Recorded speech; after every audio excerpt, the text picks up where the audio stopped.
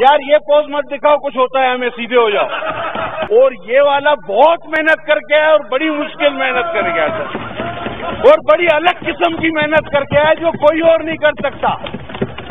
آج میں بات کروں گا اسلامی جمہوریہ پاکستان کے وہ سیاستدان جو پارلیمنٹ کے اندر عوام کی حکمران اور عوام کی نمائندگی کرتے ہیں۔ دراصل یہ پاکستان کے وہ بدتمیز اور وہ شک اور شبہ ایک دوسرے کے اوپر کرنے والے، ایک دوسرے کے اوپر الزام لگانے والے عوامی مسائل سے آری اپنے ذاتی مفادات کے تحفظ کو فروغ دینے والے، اپنے پارٹی رہنماؤں کی خاطر چپلوسی کرنے والے، ایک دوسرے کے گربیان پکنے والے۔ یہ اسلامی جمہوریہ پاکستان کے اندر موجود ہمارے مسلمان سیاسی رہنما کیا کرتے ہیں؟ وہ جو ادھوری باتیں انہوں نے کہی تھی، میں ان کو کمپلیٹ کرنا چاہتا ہوں۔ مراد سعید ایک رٹا مار ایسا پی ٹی آئی کا رہنما ایک وزیر جس کو پی ٹی آئی کے لوگوں سمیت باقی لوگ بھی سنتے ہیں فالو کرتے ہیں ملینز میں ان کی ویڈیو جاتی ہیں۔ یہی وجہ ہے کہ وہ اسمبلی میں جب تقریر کرتے ہیں تو وہ یہ لفظ کہتے ہیں کہ ہم نے سکھر اور سندھ کو کتوں کے حوالے کر دیا۔ یہی بات ہی کہ قادر پٹیل نے کہا کہ کتوں کی ویکسین کس کو چاہیے طنز کیا انہوں نے اور وہاں پہ ایسے ایسے جملے کہے گے کہ ہماری مائیں بہنیں خواتین بیٹھی ہوئی تھیں۔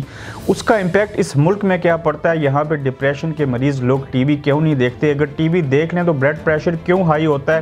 اور کیا فیملی کے ساتھ بیٹھ کے ڈرامہ ٹی وی مووی کی میں بات نہیں کر رہا کسی سٹیج ڈرامے کی بات نہیں کر رہا کہ ہم ان کے ساتھ بیٹھ کے نہیں دے سکتے؟ آج کے دور میں اسلامی جمہوریہ پاکستان کے جو پارلیمنٹ ہاؤس ہے اس کے اندر ہونے والی براہ راست کروائی جو ایک national T V channel P T V sports میں، پی ٹی وی سمیت ہر جگہ کے اوپر چلتی ہے، ہم اس کو براہ راست نہیں دیکھ سکتے۔ اس کی ریزن میں آپ کو بتاتا ہوں، جب مراد سعید نے اپنی تقریر کی تو اس نے جب کہا بلاول بٹو زرداری کی تقریر بھی کوئی اچھی نہیں تھی۔ ان کا جو رویہ اور باقی الفاظ تھے وہ بہت برے اور بڑے بھیانک تھے۔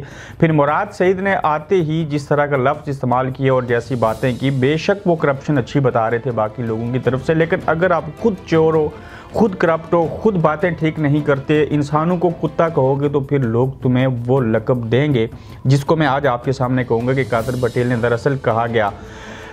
آپ نے اپنے والد کو مراد سعید آسٹریلیا ویزے پہ بیچا ای سیمٹی ایئرز اولڈ آپ کے ابا ان کو آسٹریلیا کے ایئرپورٹ کے اوپر ہوگا گیا پاکستانی میڈیا نے اس کو رپورٹ کیا وہ وہاں سے ڈی پورٹ ہوئے سارے معاملات ہوئے آپ اپنے آپ کو کس طرح سے کہہ سکتے ہو آپ ایک انصاف کرنے والے ہو آپ خود غرض نہیں ہو آپ کرپٹ نہیں ہو یہ کرپشن کی ایک مثال ہے کہ آپ اپنے والد کو اسٹوڈنٹ ویزا کے اوپر آسٹریلیا بھیج رہے ہو پھر اس کے بعد میں اس بات کے اوپر شک و شبہ نہیں کرتا کہ آپ نے پیپر جو ہے وہ نقل کر کے کیے، یا آپ کی ڈگری جالی ہے، لیکن یہ جو آپ الفاظ بولتے ہو، یہ رٹا مار آپ کی یہ کمائی صرف یہی ہے کہ آپ کو کوئی فیکٹ اینڈ فگر پتہ نہیں ہے۔ رٹے والی تقریر کرتے ہو، وہاں پہ یہ آپ کی اپنی ذاتی صلاحیتیں نہیں ہیں۔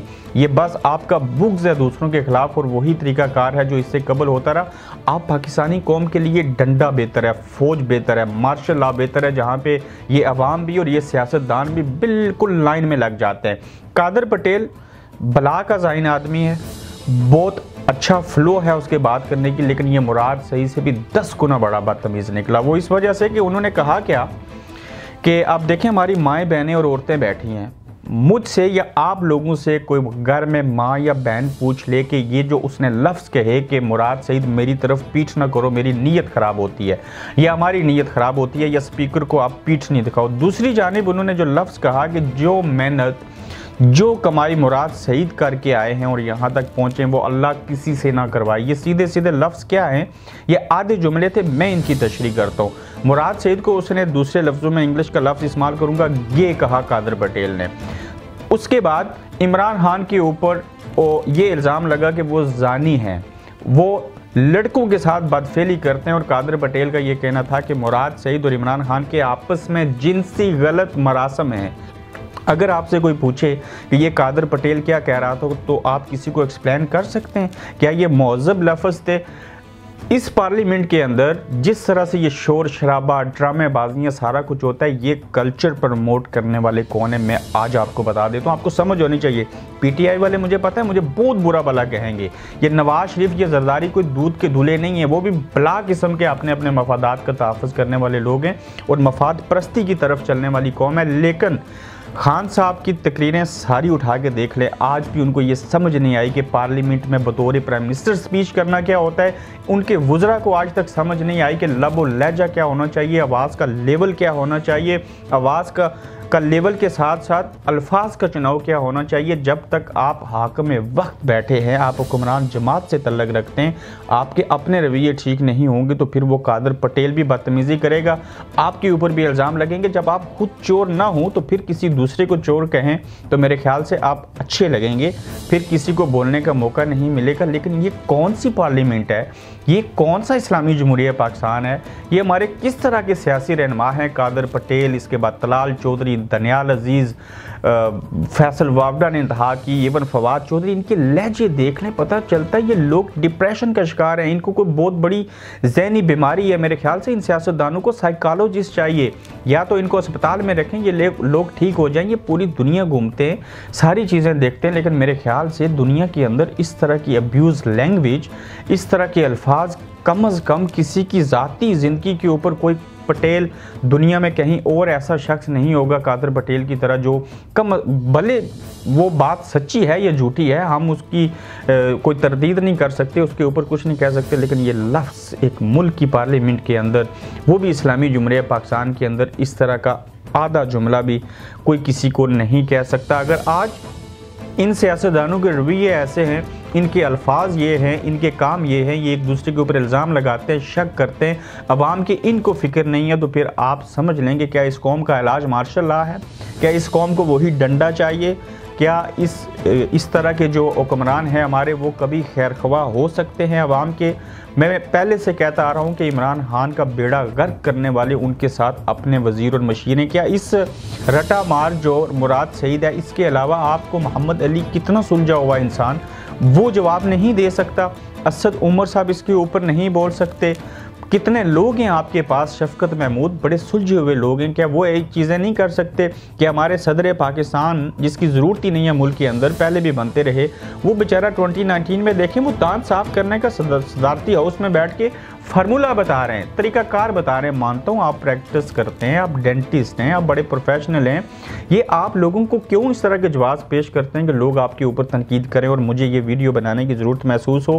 قادر پٹیل ہو یا مراد سعید ہو، انہوں نے جو کچھ پارلیمنٹ کے اندر کیا، ان دانوں کا بیڑا غرق ان کو سیاست دان کہنا بھی جرم ہے اور ایسے لوگ اللہ رحم کرے، ان کو پتہ نہیں کون ووٹ دیتا ہے، یہ کیسے یہاں تک پہنچ آتے ہیں؟ یہ ڈرامے باز، یہ اس طرح کے لوگوں نے اچھے بلے لوگوں کو، عام عوام کو بھی بدنام کر کے رکھ دیا اور ملک کی بدنامی کا باعث بنتے ہیں۔ ان دونوں اشخاص کی جانب سے پارلیمنٹ کے اندر جو جو کچھ کہا گیا، مجھے ذاتی طور پہ اس کے اوپر دکھ ہوا۔ میں نہیں کہنا چاہ رہا تھا کہ آپ کو سر عام بتا دوں کہ گے کہا قادر پٹیل نے، مراد سعید کو اور پھر عمران خان کا اور ان کا آپس میں ریلیشن شپ کیا تھا، پہلے ڈسکشن ہوتی تھی سوشل میڈیا کے اوپر، اب وہی باتیں پارلیمنٹ کے اندر ہو رہی ہیں۔ جب میری پارلیمنٹ کے اندر اس ملک کے اندر کوئی کہے گا تو پھر مجھے پورا حق ہے کہ میں اس کے اوپر اپنے جذبات کا اظہار کروں اور اس ملک کے اندر جب ہم بیٹھ کے یہ ساری حرکتیں دیکھتے ہیں، ہم نے یہاں پہ آ کے بہت کچھ سیکھا ہے۔ ہماری سوچ کھلی۔ ہم نے ان انگریزوں سے صبح دوپہر شام چیزیں سیکھی ہیں۔ اچھے ایتھکس انہوں نے ہمیں سکھائے، لیکن جب ہم اپنے ملک کی یہ چیزیں دیکھتے ہیں، حیرانگی ہوتی ہے کہ ہم آج بھی کس پرانے دور میں ہیں اور کتنی جہالت ہے۔ اس جہالت کا خاتمہ کب ہوگا؟ تب ہوگا جب آپ ان لوگوں کو، ایسے گندے لوگوں کی باتوں کا دفاع کرنا چھوڑ دیں گے۔